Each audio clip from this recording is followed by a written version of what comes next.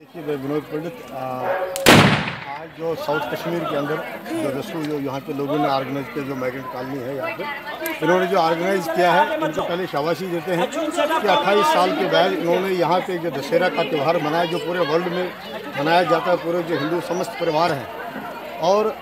आज जो नीति पे बदी पे नीति की फतह पाई है, जो जब रावण का वध किया,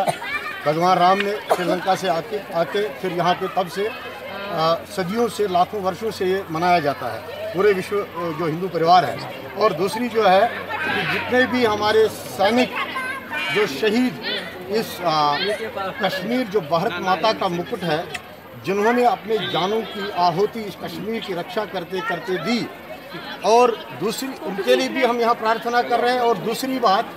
कि जो पूरा एशियन कंटिनेंटल है बहर जो है उसकी शांति के लिए भी हम यहाँ प्रार्थना करें आज।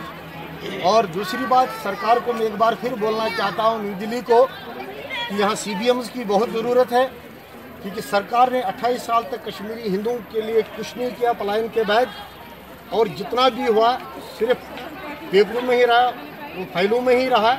तो एक बार फिर मैं यहाँ के कॉलिशन गवर्नमेंट से और नरेंद्र मोदी गवर्नमेंट से ये अपील कर रहा हूँ कि वो कश्मीर जो मूल निवासी हैं, यहाँ के कश्मीरी हिंदू, उनके साथ डायलॉग किया जाए